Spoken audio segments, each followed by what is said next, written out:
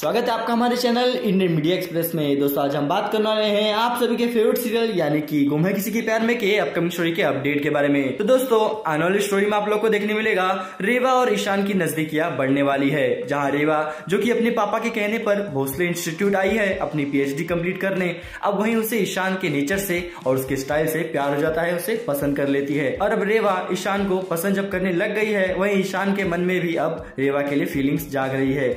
जब उसे पता चलता है कि वो दोनों बचपन के दोस्त हैं, तब ईशान को वो और पसंद आने लग रही है। उस पर ईशान जब रेवा से कहता है कि तुम मेरी स्टूडेंट नहीं बन सकती, जिस पर रेवा कहती है, उसने ऐसी कौन सी गलती कर दी है? जिस वजह से ईशान ऐसा कह रहा है। जिस पर ईशान रेवा से बड़े प्यार से कहता है की जब तुम मेरी गर्लफ्रेंड बनने वाली हो तो स्टूडेंट कैसे बन सकती हो? वही इस बीच दोनों की नजदीकियाँ बढ़ने वाली है, जिस तरह हमें विराट और पाखी की स्टोरी देखने मिली थी।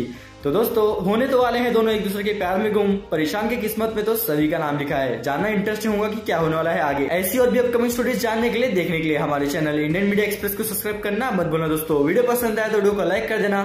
ये वीडियो अपने फ्रेंड्स एंड फैमिलीज़ में शेयर करना, ताकि सब लोग अपने फेवरेट सीरियल से, यानी कि गुम्मे किसी के प्यार में, के सीरियल से अपडेटेड रहे।